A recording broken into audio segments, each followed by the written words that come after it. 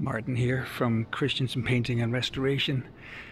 Uh, this church here, we've been doing a lot of work in exterior and interior, and now we have gotten to almost completing these pews. And it was these pews were actually we were asked to to clean them up, uh, get them you know shampooed down, sanded out, and a coat of urethane and match the stain where all the handprints were, were had worn down the the uh, grips, I guess. Uh, because these these pews here are all completed, uh, finished, and this side here we just have almost completed this row of pews, and the difference is amazing. Uh, I'm just going to walk down and show the the benches uh, before we actually do them. Um, these ones here have not been urethane yet, but see all the the lighter part of the of the wear that's uh, that's actually the the um, the hand sanitizer, and the alcohol took off the the finish completely.